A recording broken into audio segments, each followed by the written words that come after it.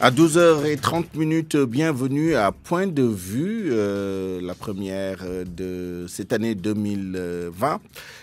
Nous parlons des accidents de la route mortelle euh, et de la solution qui a été préconisée, euh, celle du permis à point. Pour en parler, nous sommes en ligne avec Goro Khouma, secrétaire général de l'Union des routiers du Sénégal, affilié à la CNTS. Goro Khouma, bonjour. Bonjour, monsieur. Et bonne année à vous. Merci, moi aussi. Euh, Union des du Sénégal souhaite euh, l'année 2019 une, année, une bonne année heureuse pour tout le monde. Merci beaucoup. Bonne année et bonjour à M. Cheikh Omar Gaye, directeur des transports routiers. Euh, bonjour, euh, même merveilleux à tous les auditeurs et à tout le Sénégal. Euh, bonjour à Goro aussi. Merci beaucoup. Euh, nous restons avec vous, M. Gaye, directeur des transports euh, routiers. Euh, la question des euh, accidents euh, de la route mortelle a été évoquée lors de la conférence de presse du chef de l'État la nuit du 31 décembre 2019. Euh, la question lui a été posée par les journalistes et le président a indiqué la préférence du gouvernement pour la solution du permis à points qui est une arlésienne. On en a parlé pendant des mois et des mois ces dernières années. Euh, mais avant de parler de, de cela, est-ce que vous pouvez nous donner le bilan, si, euh, s'il existe, des accidents pour l'année 2019 Voilà, merci, merci beaucoup. Donc, euh, réitérer aussi nos, nos voeux de bonheur, de santé, de réussite pour tout le Sénégal et pour tous les Sénégalais. Euh, sur la question, effectivement, donc, des statistiques sur les accidents, la compilation est, est en cours. Donc euh, nous avons euh, déjà donc euh, les statistiques du 1er janvier 2019 au, au, 30 novembre 2019 et nous sommes à 564 en tout cas en tout cas tués sur, sur nos routes, le, non compris en tout cas des statistiques du mois de décembre.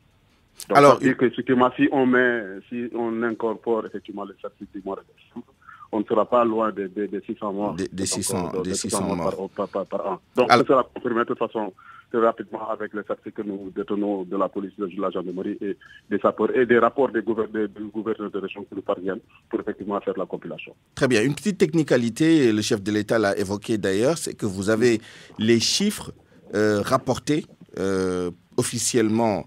On est pas loin des 600 en moyenne en général euh, ces dernières années, mais on nous parle maintenant d'un bilan beaucoup plus important, euh, basé sur euh, des chiffres donnés par l'Organisation mondiale de la santé. Est-ce que vous pouvez nous parler de ces statistiques? Comment elles sont compilées? Comment elles sont données? Alors, alors, les statistiques que nous nous donnons, effectivement, c'est les, statistiques qui nous parviennent des, des forces de défense et de sécurité donc de la police, de la gendarmerie, chaque, chaque, chaque, chaque secteur dans sa zone de compétence et des sapeurs-pompiers. Mmh. Les gouverneurs de région ayant euh, effectivement la responsabilité de compléter chacun à ce qui le concerne dans sa région, toutes les statistiques liées aux accidents mortels, aux accidents en, en général et donc au nombre de, de tués. Maintenant, euh, comme on l'a dit euh, un peu partout, donc en Afrique et un peu partout dans le, dans le monde, on avait l'OMS avait constaté effectivement que la plupart des pays, en tout cas tous les pays d'ailleurs, euh, en tout cas ne prenaient pas en compte euh, donc euh, dans le décompte les, les, les, les, décédés et donc post-accident, donc qui sont au niveau de structures sanitaires, donc des, des, mois ou en tout cas des, des jours. C'est qui décèdent des suites de leurs blessures graves. Oui, de, de, de, de leurs blessures graves. Et ça, ça, ça, c'est pourquoi effectivement l'OMS a pris une, recommandation à tous les pays, et on l'a commencé depuis, depuis quelques mois, à tous les pays de considérer donc tous les blessés qui, qui succombent à ces, blessés, à ces, blessures donc, à l'issue d'un accident un mois après l'accident. C'est en ce moment qu'on va considérer effectivement qu'il est décédé par rapport à l'accident. Donc c'est un terme qu'on a, qu'on a, qu'on a, qu'on a arrêté au niveau mondial de considérer un mort un, après, un mois après l'accident, donc de le mettre dans les statistiques. C'est voilà, une compilation réelle mais, ou une estimation Non, justement, justement, justement. Jusqu'ici, l'OMS faisait des estimations.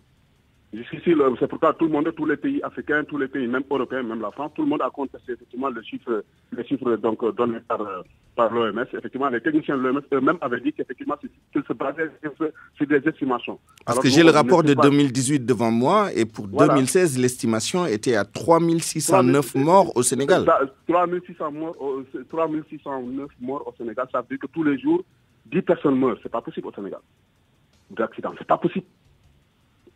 Figurez-vous que tous les jours, 10 personnes meurent par accident au Sénégal, ça n'existe pas. Ça n'existe pas. Et, tout le monde, euh, tous les pays africains le contestent. contestent ce chiffre-là. Les pays européens contestent les chiffres de l'OMS. C'est pourquoi l'OMS a pris la résolution effectivement, de dire, effectivement, jusqu'ici, nous fonctionnons sur la base d'estimation, d'une boîte noire d'estimation d'un modèle que nous avons.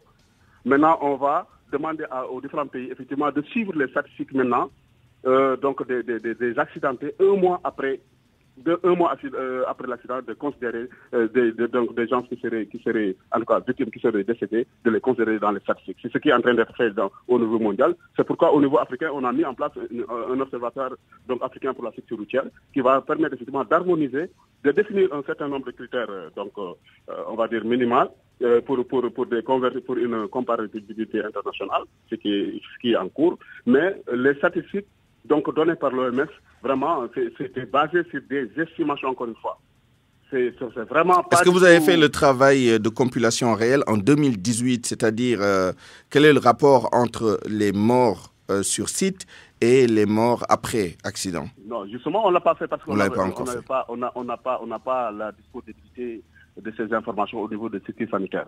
Ce qui est en train d'être fait au Sénégal, c'est effectivement qu'on est en train de travailler avec euh, le ministère de la Santé pour mettre en place, euh, et c'est en cours en ce moment, pour mettre en place une, un, système de suivi, de base de données donc euh, des, accidents, euh, des, des, accidents de la circulation, prenant en compte effectivement les postes accidentés. Donc le dispositif en cours, certainement en l'année 2020, on aura des statistiques prenant en compte ces, aspects-là, qui pourront, qui pourront être vraiment fiables et qui pourront être comparés avec les estimations que faisait, que faisait l'OMS. Euh, vous ne le direz peut-être pas, donc les chiffres qui sont avancés par le ministère et euh, par voie de conséquence par le chef de l'État sont des chiffres un peu contestés par, euh, par les pays africains et d'autres pays. Très bien. Non, non, non, c'est pour ça que je dis que vous n'allez pas le dire. Moi-même, je le dis parce que... Non, non, non, non c'est pas ça. Ce que je dis, ce que le président a dit, il mhm. a très bien dit. Il a très bien, les chiffres donnés par le ministère, c'est des chiffres officiels. Oui. Attestés par, par, par tout le monde. Oui, On peut pas, ça c'est clair. Maintenant, les chiffres donnés par l'OMS, c'est fondé sur des estimations. Qui dit estimation, dit effectivement... Marge d'erreur. Voilà, marge d'erreur, non seulement marge d'erreur, mais aussi voilà, contestation. Très bien, très bien. C'est bien ce que je disais. On s'entend bien. Non, non, je ne vous fais pas dire ce que vous n'avez pas dit. Alors, très bien. Entrons dans le vif du sujet, cette fois-ci avec euh, Gorochouma. Euh, vous l'avez entendu, le président de la République euh, semble être favorable à l'application le plus tôt possible du permis à point. Qu'est-ce que vous en pensez, vous? Voilà, d'abord, le président de la République est dans ses droits. Je profite de l'occasion pour remercier aussi, bien dire bonjour euh, à mon directeur, c'est ma tutelle, c'est Omar Gaye. Euh, le président est dans ses droits euh, de parler sur les accidents, puisque c'est un problème. mais je crois que je l'ai toujours évoqué, le secteur des transports devient de plus en plus défavorisé. Puisque c'est un secteur très important, très important que l'on laisse les travailleurs travailler dans de mauvaises conditions. Moi, je ne peux pas comprendre. Un travailleur qui travaille dans les mauvaises conditions, on lui demande un résultat positif. C'est impossible. Soit le journaliste, soit le conducteur, soit le médecin, il faut rester dans des bonnes conditions pour produire un résultat positif. Mais travailler dans des mauvaises conditions et produire un résultat euh, euh, positif, ça m'étonnerait. Le président veut instaurer, il est d'accord pour le, pour, pour, le point permis à point. Il a dit, c'est le président de la République, mais s'il mettait le point à point, c'est comme euh, le nouveau permis. C'est un document. Les, c'est le document du véhicule pour le chauffeur. Mais est-ce que ça va régler le problème? Peut-être que c'est le début de solution. Moi, je crois que les travailleurs doivent, en, doivent, être euh, plus en, compte de leurs difficultés. Puisque le secteur des transports lourds, comme le secteur des transports il y a un problème. Il y a un problème, il y a le désordre. Et que ce désordre doit être corrigé les, les en train de, de, corriger, mais c'est insuffisant, ou bien c'est pas encore Mais pour être plus, plus spécifique, quelles sont les conditions dont vous parlez? Quels sont les préalables à, la mise en œuvre de ce permis à point? Non, le permis à point, mais demain, qu'on instaure le permis à point, est-ce que ça va arrêter les, les, accidents? Tant que les conditions des travailleurs ne sont pas prises en compte, ça n'ira nulle part. Pourquoi je dis ça. Le camion le conducteur on dit donne-moi temps ou je retire mon camion. Le transport en commun, on dit donne-moi temps ou je prends mon car. Ou bien le taxi. Sur les routes, là, les agents qui sont je donne-moi temps ou tu passes pas. Mais vous voulez des résultats. Changez tout, changez le véhicule, changez le, permis, changez le véhicule technique. Mais les conditions, vous les laissez comme ça. Et vous voulez des résultats positifs. Impossible. Même le président, son, son conducteur là, s'il ne le met pas dans des bonnes conditions, il va créer des accidents pour lui. Pour bien comprendre, vous, vous évoquez la question de la corruption je crois que Le secteur des transports doit être la cible. Nous sommes, nous sommes effectivement hein, les responsables. C'est un véhicule qui ne bouge, qui n'a pas bougé, ne fait pas d'accident. Donc c'est nous qui sommes du début à la fin, vraiment les auteurs des accidents, on ne peut pas dire, le contraire. Et puis l'accident, qui produit les accidents Il y a, la il y a une part que nous gérons, mais les populations en ont. Vous voyez la nuit, là, les calèches tournent de, de, 24 heures 24 sans lumière, sans rien du tout. Les, les scooters, là, les deux roues, je dis deux roues, circulent comme ils veulent, circulent comme ils veulent. Les piétons passent là où ils veulent. Il y a les passagers qui passent en respect. C'est les conditions. Alors, une question, une question très simple. Gorokhuma, est-ce que vous êtes d'accord pour qu'on mette en place... Il y a moins de problèmes, mais notre secteur est mis en rade. C'est l'informel plus le désordre. Il faut qu'on corrige. L'État est en train de corriger. Il faut laisser il faut pousser. Il faut pousser pour corriger alors le tout. Mais demain, amener le permis à point. Moi, je ne dirai plus. Maintenant, je ne suis pas d'accord. Il faut l'amener. Voir est-ce que le problème sera réglé ou pas. Il faut que les conditions Très bien. Vous avez répondu à ma question parce que je voulais vous demander si vous étiez d'accord pour une mise en place en attendant de voir les résultats. Apparemment, vous, vous ne m'écoutez pas. Attendez. Euh, on, va... pas pour les accidents. Très bien. Sénégalais, c'est ma famille. Parfait. Il y a les chauffeurs qui sont toujours... Non, moi, je crois que le président, ce qu'il a dit, il est dans ses droits en tant que président de la République. C'est un cas, il a le droit de prononcer, mais il a parlé des accidents, mais il n'a pas parlé des conditions des travailleurs. Il n'a pas prononcé sur la condition du patronat. Il ne pas prononcé. Mais il fait des règlements. Gorohuma, pour qu'on puisse vous comprendre très, très clairement, écoutez-moi, s'il vous plaît. Gorohuma, Gorohuma, s'il vous plaît. Alors, euh, nous sommes encore en ligne avec euh, cher euh, Omar Gay. Gorohuma, on revient à vous dans un instant. S'il vous plaît, prêtez l'oreille pour entendre nos, questions. Alors, cher Omar Gay, si j'ai bien compris Gorohuma, il pose peut-être comme préalable, peut-être pas d'ailleurs, parce que je voulais savoir avec lui si c'était une condition sine qua non, l'assainissement du secteur et la levée un peu de tous les obstacles est-ce que vous êtes dans les dispositions pour justement assainir d'abord pour mettre en place euh, le permis à point ou faut-il mettre le permis à point qui s'applique à tout le monde au-delà des transporteurs professionnels et euh, en même temps régler les problèmes soulevés par Goa euh, Moi je pense que ce n'est pas, pas mutuellement exclusif. Mmh. c'est tout un système qu'on est en train de, mettre en place. Si vous avez bien écouté donc, son Excellence Michel le Président de la République, parlant effectivement des solutions pour l'insécurité routière, il a évoqué effectivement le renforcement du contrôle routier avec des dispositifs de contrôle modernes donnés à la police et à la gendarmerie, donc les forces préposées au contrôle routier. Il a parlé aussi des réformes que nous sommes en train de faire sur le système donc, de délivrance des permis de conduire et des visites techniques. Et enfin, il, a, il a même parlé aussi de sensibilisation. Il a même parlé de concertation, de sensibilisation avec les acteurs, en l'occurrence avec les transporteurs. Et enfin, il a parlé de, de l'application du permis à point. Donc ce n'est pas seulement le permis à point, c'est un tout. Maintenant, euh, commencer à appliquer le, permis à point et laisser les autres points, ou bien que faire le tout, ça dit que tout s'imbrique. Le tout s'imbrique. Goro a touché un point très, très important.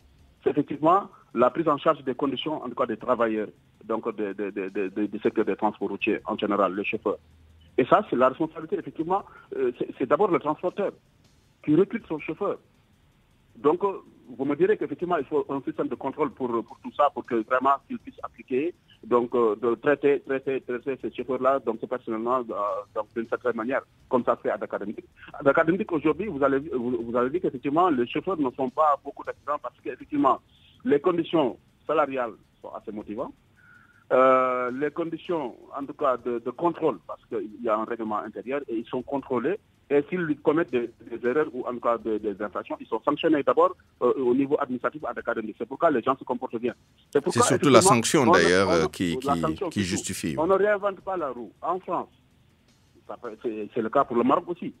Lorsqu'on a mis en place, lorsqu'on a commencé à, mettre en place le permis à point, donc on a vu le taux d'accident donc diminuer d'au moins 45 de 45 le nombre de tués. La France, et, par exemple, si on prend le cas de la France, on est passé de 30 000 morts par an à moins de 10 000 morts, 9, 600 morts par an en ce moment en France. Mmh. Euh, par, par an. Au Maroc, c'est pareil. On a quitté vers les 18 000 morts par an. Là, ils sont à 8 000 morts par, par, par, par an du fait de l'application du permis à point, donc euh, des, mesures dissuasives sur le, sur, le permis et sur, effectivement le portefeuille euh, des, des, usagers. Donc ce n'est pas que la sanction, mais il y a le contrôle et la sanction, mais il y a les autres activités qui continuent effectivement, c'est-à-dire que mettre en place des dispositifs pour rendre beaucoup plus, euh, en tout cas, euh, opérationnel donc le, système, le, dispositif de contrôle routier, le dispositif de délivrance des titres globalement et de l'utilisation de la voie publique ouverte à la circulation. Très bien. Parce que le code de la route qu'on est en train de, qu'on est en train de, de, remettre en place, de refaire, le, code, la loi d'orientation sur les transports qu'on est en train de remettre en place, c'est effectivement permettre aux gens effectivement d'avoir un dispositif réglementaire très, très coercitif et dissuasif pour effectivement lutter contre l'insécurité. Très bien, on, attend de voir tout ça. Nous vous retrouverons tous les deux dans l'édition en Wolof euh, tout à l'heure. Merci d'avoir participé à ce point de vue. À 12h46 minutes, c'est la fin de cette édition du Grand Journal. Je vous remercie de l'avoir suivi. Merci à l'équipe qui m'a aidé à la préparer et à vous la présenter.